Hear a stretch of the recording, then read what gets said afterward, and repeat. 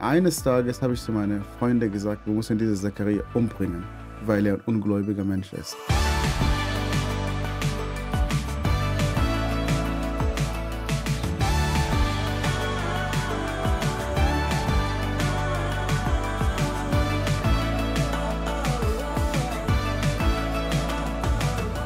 Herzlich willkommen zu Hoffnungsmensch, dem Podcast mit Menschen, die mit dem Himmel im Herzen die Welt verändern. Heute bei mir zu Gast Yassir Erik. Er ist 1972 im Nordsudan geboren und war militanter Islamist. Heute ist er evangelischer Theologe, lebt in Deutschland und hat eine schwäbische Frau geheiratet. Yassir Erik hat eine krasse Geschichte. Er hat erlebt, was eigentlich kein Mensch von sich sagen kann, er stand an seinem eigenen Grab. Ja, sehr herzlich willkommen. Schön, dass du da bist. Vielen Dank, Stefan, für die Einladung und ich bin sehr, sehr gerne hergekommen. Ja, so was bist du eigentlich inzwischen mehr, Schwabe oder Sudanese? Ähm, beides eigentlich. Ich kann auch ein bisschen Schwäbisch schwätzen. Ich kann sagen, wo Goschna, Hanoi, da Hanne. Wo gosh no? ja. Wo gehst du hin, muss genau. man sagen, ja, für die, die das Schwäbische nicht so kundig Richtig. sind. So, in meinem Kopf habe ich zwei Teile, ein sudanesischer Teil und Deutsch-Schwäbisch. Und beide arbeiten nicht gleich. Das heißt, wenn ich äh, mit arabisch sprechenden Menschen unterwegs bin, dann schalte ich mein sudanesische, arabische. Dann schaltest du um. Richtig. Machst du eigentlich Kehrwoche und isst Kässpätzle? oh so? ja, ja. Das musste ich eigentlich hier lernen, als ich nach Deutschland gekommen bin. Und, ähm, ich musste die Kehrwoche-Konzept verstehen und nicht nur das, sondern Müll trennen und was weiß ich. Und, und es gab eine sehr lustige Geschichte am Anfang, als ich kam. Ich wusste nicht, dass jeder Haus hat seinen eigenen Mülltrenner. So, ich habe einfach unseren Müll genommen. Ich habe einfach eine grüne Mülltonne gesehen, reingeschmissen und dann kam der Nachbar und hat so geschumpfen. Und ich kann mir das vorstellen, ja. Genau, und bis heute bin ich sehr, sehr dankbar damals. Ich verstand kein einziges Wort von was er gesagt hat. Ja, willkommen in Deutschland, kann man da nur sagen. Ja. ja. Ja, also du hast eine unfassbare Lebensgeschichte. Ähm, du bist im Sudan in einer äh, muslimischen Familie geboren, aber nicht nur muslimisch, was ganz normal ist, sondern einer Familie, die schon, man kann schon sagen, zum Islamismus tendiert hat, eigentlich schon immer. Erzähl uns ein bisschen, wo kommst du her? Ja, ich komme vom Nordsudan. Ich bin in eine sehr, sehr große Familie geboren. Ist eigentlich ein Clan, man kann das sagen. Und wie du gesagt hast vorher, nicht eine normale muslimische Familie. Die meisten Muslimen, die wir in Deutschland haben, die wir in Sudan haben, sind friedliche Menschen. Aber meine Familie war ein bisschen anders. War nicht nur äh, militant, sondern meine Familie gehörte zur Muslimbruderschaft. Mein Großvater war einer von den Großakteuren, die die Muslimbruderschaft im Sudan gegründet hat.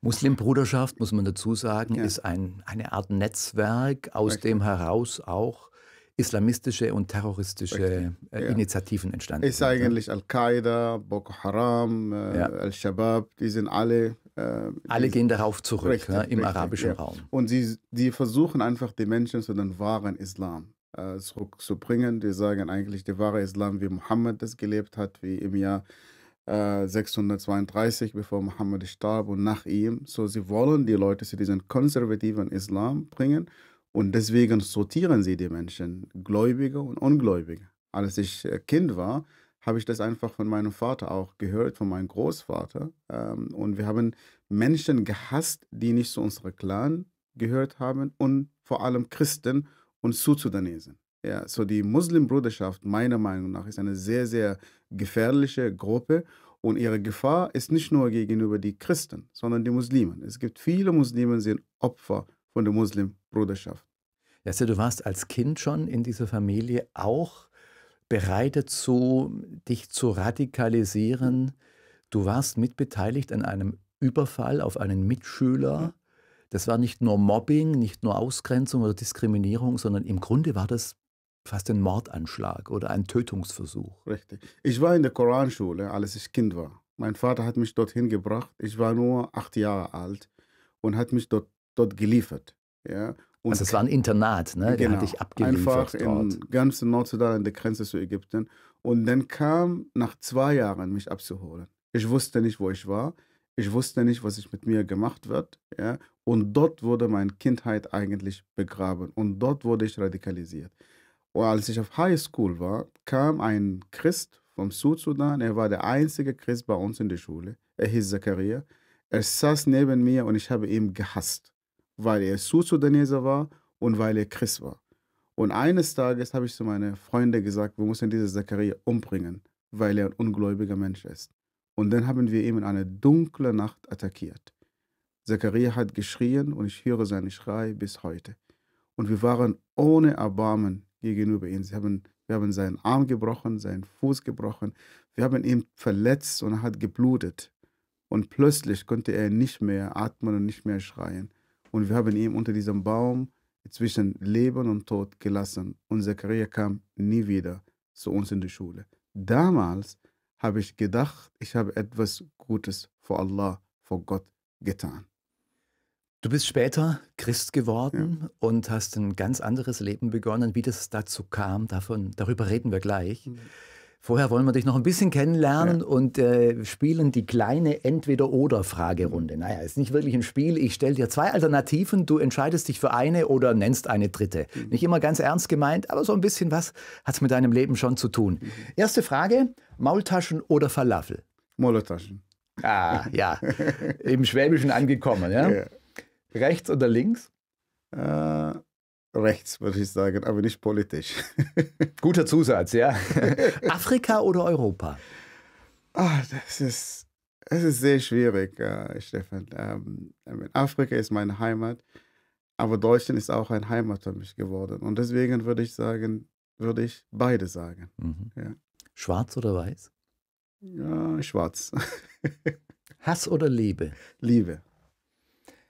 Jesus oder Mohammed? Jesus auf jeden Fall. Stichwort Bekehrung, Yasir. Wie kam es dazu, dass du Christ geworden bist? Ich muss einfach sagen, ich habe noch nie Beziehungen zu Kirche, Beziehungen zu Christen gehabt, weil das Bild vom Christentum für mich war ein schreckliches Bild. Unter das Bild Christentum habe ich Kolonialmächte verstanden. Christentum ist die Kreuzzüge. Christentum ist diese ganze Unmoral in, in den Westen. Mhm. So hast du das gelernt. Das ne? habe ich gelernt. So war genau. Ja. Und wie bist du dann trotzdem und, zum Christen geworden? Ja, und das Christentum für mich war auch Menschen, die drei verschiedene Götter glauben, Menschen, die unmoralisch sind. Ja.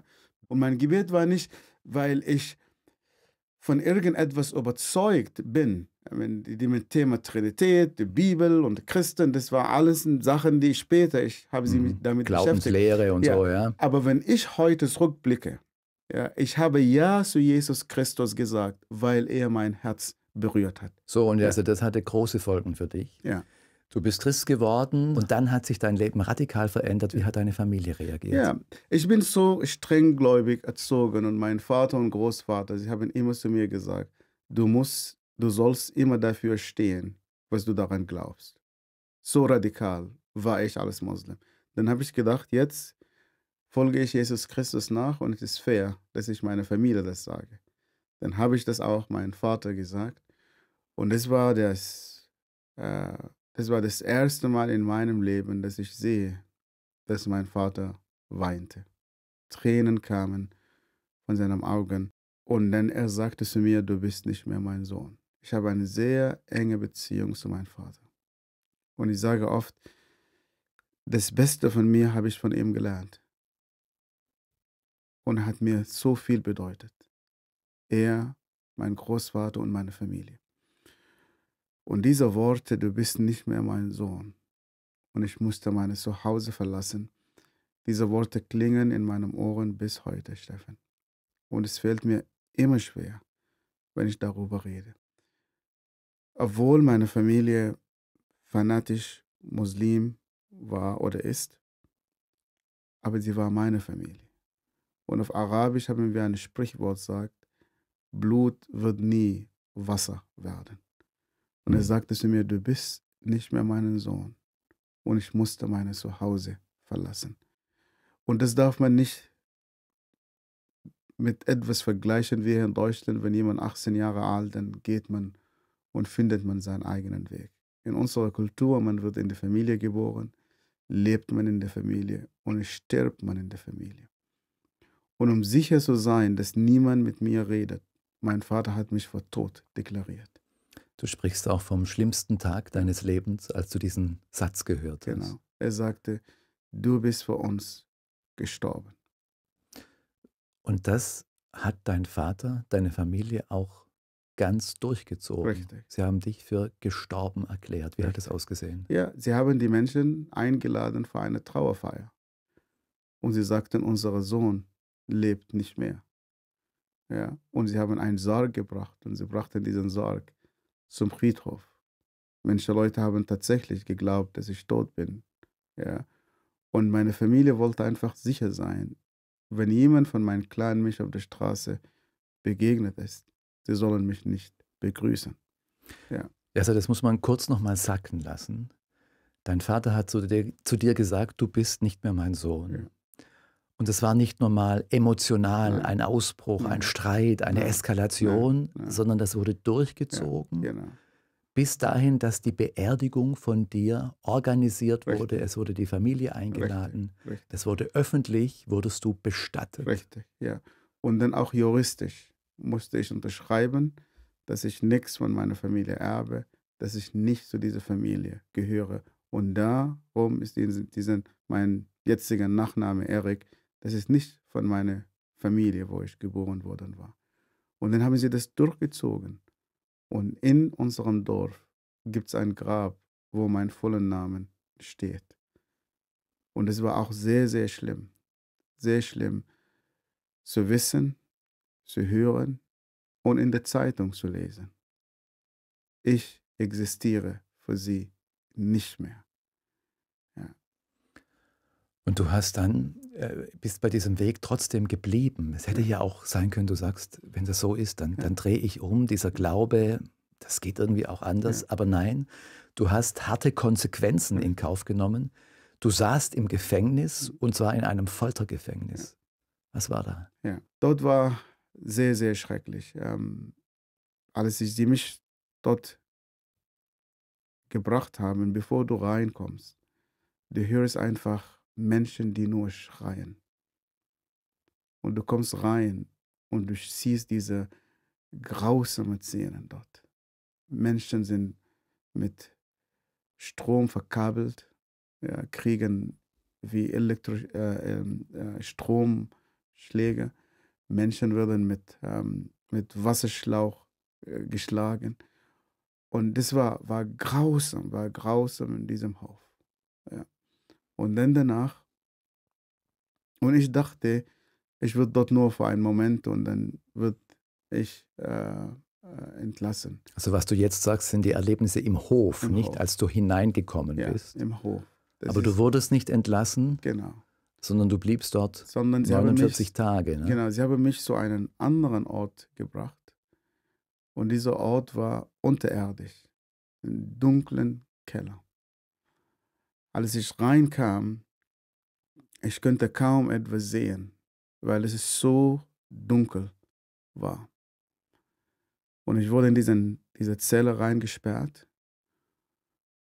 Und während ich dort gelaufen bin, ich habe einen, einen Gestank, oder das, dort war ein, ein unerträglicher Gestank.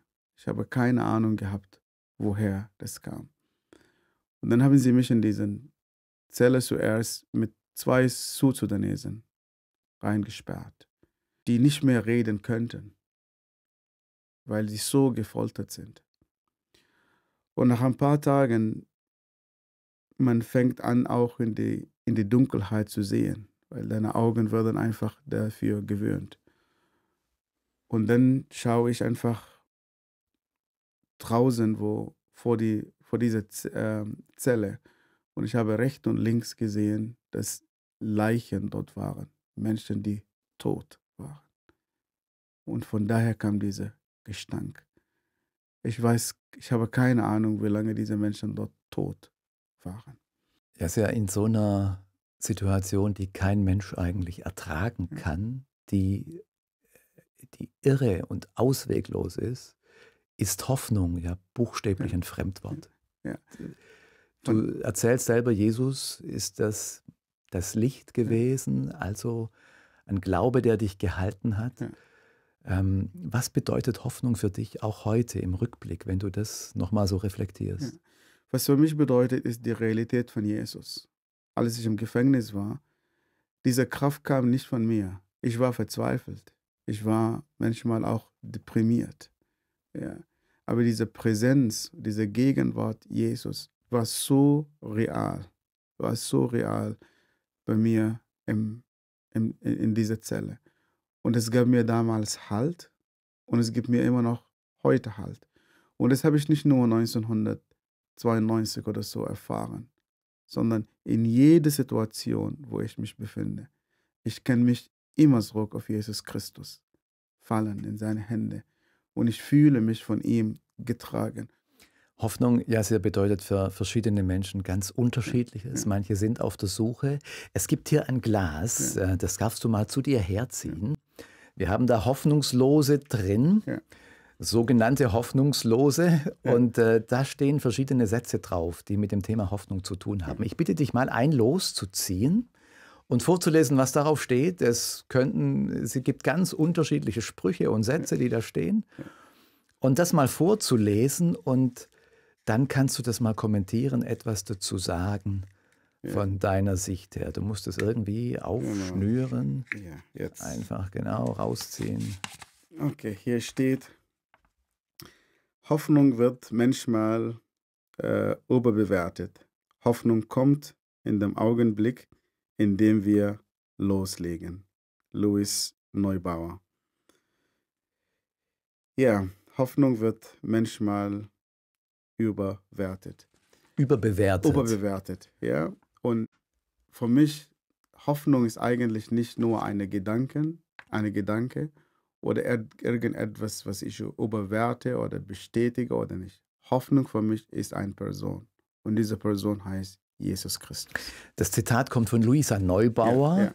Ähm, die großes Anliegen hat, äh, dass wir die ja, die Welt nicht vor die Hunde gehen lassen Richtig. angesichts der ganzen Umweltzerstörung genau. und sagt dann, ähm, ja, Hoffnung wird manchmal überbewertet, wenn wir nur warten. Es, die Hoffnung Richtig. kommt, wenn wir was anfangen Richtig. und loslegen. Ja. Und das, das ist bei mir auch passiert, als ich Ja zu Jesus Christus gesagt habe. Ja. Ich habe nicht viele Zeit verbracht, um zu vergleichen, tiefer zu gehen und so, sondern ich habe einfach einen Schritt getan. Gott hat Ja zu mir gesagt. Ja, und meine Hoffnung fing an, als ich Ja zu ihm gesagt habe. Und deswegen, ich stimme einfach mit ihr zu, wenn wir einfach loslegen, wenn wir einen Schritt tun. Und ich lebe hier in Deutschland seit vielen Jahren. Und ich weiß, manchmal sind wir so, manchmal sehen wir, warum die Sachen nicht gehen sollen. Ja, wir sehen das Problem. Wir sehen, aber ich glaube, in Bewegung, in Bewegung werden wir viele Sachen nicht nur lernen, sondern wird uns überraschen. Und besonderes mit Jesus, besonderes mit Jesus unterwegs zu sein. Ja. Genau, es ja. geht darum, dass man nicht nur etwas im Herzen hat innerlich, sondern Richtig. auch losgeht, dass etwas in Bewegung ja. kommt. Du bist jetzt in Deutschland, sagst ja. du gerade auch, bist evangelischer Theologe. Was machst du eigentlich jetzt in Deutschland? Ja, ich leite ein Institut ähm, in Kontal in der Akademie für Weltmission, heißt Europäisches Institut für Migration, Integration und Islamthemen. Ja, das ist, äh, nimmt einen Schwerpunkt von meiner Arbeit. Ähm, auf der anderen Seite begleite ich auch viele Konvertiten, die Muslimen geworden sind. Menschen, die genau. Die Christ geworden sind. Ja, Musli ja Muslime, sorry. die Christen geworden Muslime, sind. Muslime, die ja. Christen geworden sind. Menschen, die wie, wie ich, die alles verloren haben ja, und, äh, und verfolgt sind. Und unser Problem ist nicht Verfolgung. Verfolgung macht uns bessere Christen, Menschen, die Jesus Christus besser kennenlernen. Unser großes Problem ist Identität und wohin wir gehören. So, ich bin unterwegs mit vielen von diesen äh, äh Konvertiten und äh, betreue ich sie geistlich und wir lernen zusammen in einer Gemeinschaft. Ja.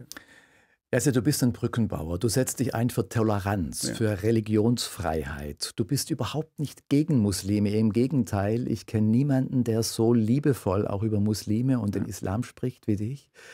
Wir haben aber, erleben in Deutschland oft diese Polarisierung. Islamismus auf der einen Seite und dann Populismus und Fremdenhass auf der anderen Seite. Wie findet man einen guten Weg, um Brücken zu bauen? Wir brauchen einen dritten Weg. Und dieser dritte Weg für mich sieht so aus, wir müssen zwischen Islam und Muslimen unterscheiden. Islam ist eine Religion, ja, mit allem, was er hat. Und wir dürfen diese Religion nicht nur kritisieren, wir dürfen uns auseinandersetzen mit dieser Religion. Wir dürfen auch über die kritischen Sachen reden, genauso wie wir mit dem Christentum, Judentum, jeder Ideologie. Alles Religion. Für mich, diese Menschen ähm, tragen das Ebenbild Gottes. Ja? Diese Menschen sind von Gott geliebt. Und zu diesen Menschen müssen wir Brücken bauen. Das heißt, wir müssen, uns, äh, wir müssen unsere Hausaufgaben machen, kulturell uns gegenseitig verstehen. Wir müssen miteinander reden, nicht übereinander reden. Ja, und wenn ein Problem in unserer Gesellschaft gibt, wir müssen über diese Probleme reden. Was ich in Deutschland hier schätze, ist die Klarheit. Man redet Klarheit in alle Sachen und das ist etwas Gutes. Aber ich habe das Gefühl, wenn zu diesem Thema Islam kommt und Muslimen und Islamisten und was weiß ich, entweder schweigt man oder versucht man eine Differenzierung zu machen, die nicht realistisch ist. Das heißt, Muslimen als Menschen, die in diesem Land leben. Ja, sie haben Rechte, sie haben Pflichten und deswegen Integration für mich ist nicht, dass jemand mich toleriert und sagt, ja, lass uns, lass sie einfach so leben, sondern Integration bedeutet für mich, wir brauchen als Migranten Muslime und Nicht-Muslimen. Wir müssen wissen, welche Pflichten haben wir in diesem Land und welche Rechte. Mhm. Und ich kann erst meine Rechte verlangen, wenn meine Pflichten sozusagen erfüllen. Das meinte ich. Brücken bauen zu Menschen. Ich würde nie jemanden hier in Deutschland unterstützen, der Muslimen hasst. Nie. Ja? Und das dürfen wir auch nicht. Und von daher, ich finde, das ist problematisch, dass Menschen gewisse Sachen instrumentalisieren, nur um uns in dieser Gesellschaft zu spalten. Ja. Du machst eine klare Abgrenzung gegen alle rechtspopulistischen oder dazu tendierenden Haltungen, bist ganz Muslimen zugewandt. Ja. Ich will dich mal fragen noch nach der Unterscheidung zwischen Islam und Islamismus. Ja, kann man die eigentlich treffen? Wo eigentlich, läuft diese Linie? Ja, eigentlich man kann das nicht, nicht, nicht trennen. Das ist, das, ist eine, das ist eine Fantasie, das zu sagen, okay, nicht alle Muslimen Terroristen sind. Und das stimmt. Ja, es gibt viele Muslimen, die friedliche Menschen sind. Ich habe viele Freunde, die, die, die, die, die friedlich sind. Und man versucht zwischen Islam und Islamismus zu unterscheiden, zu sagen, okay, damit wir die Menschen nicht betreffen. Und deswegen mache ich die Unterscheidung Islam und Muslime. Ja, und nicht Islam und Islamismus. Es gibt doch aber auch einen offenen, einen äh, toleranteren, aufgeklärten Islam. Das stimmt, das stimmt. Allerdings die Islamisten, Al-Qaida, auch als ich Muslim war. Ich habe Menschen gehasst, nicht weil ich nur ein schlimmer Mensch war, sondern ich habe Texte gehabt. Texte, die zu mir sagen, du darfst die Christen und die Juden nicht als Freunde annehmen. Und mhm. ich war ein gläubiger Mensch und ich nahm diese Text ernst. Die Menschen können sagen, ja, äh, die Muslimen äh, oder dass ich diese Texte falsch, äh, interpretiert, falsch interpretiert habe, aber das hilft uns nicht. Ja? So diese ganze Gedanken, die Islamisten haben den Islam mhm. falsch verstanden. Die Terroristen haben den Islam falsch verstanden. Das hilft uns nicht weiter. Im Christentum, dieser ganze historisch kritisches Denken, meiner Meinung nach, hat das Christentum äh, gerettet. Ja, indem, dass man die Texte gesehen, genommen hat. Die Texte müssen im Kontext verstanden mhm. werden, ja, kulturell, geografisch, philologisch, ja, und dann können wir über diese Texte äh, äh, äh mhm. reden. Mhm. Solange der Islam nicht so etwas kennt, ja, werden wir immer Islamisten haben, die diese Texte nutzen. Ja. Verstehe. Ja. Ich äh, danke dir ganz herzlich ja. bis hierher und will dir zum Schluss drei Satzanfänge noch geben und bitte dich, diese Sätze zu vollenden. Erster Satz. Wenn ich meinen Vater heute treffen würde, dann würde ich. Ich würde zu ihm sagen, es tut mir leid, dass ich nicht kommunizieren könnte, was sich in mir passierte. Ich würde zu ihm sagen, und ich würde ihm auch Zeit geben, die Veränderung, die in mir passiert, zu sehen und nicht durch Argumente zu ihm zu kommen. Ich halte in meinem Herzen die Hoffnung fest, weil? Weil Jesus Christus lebt und den Tod besiegt hat.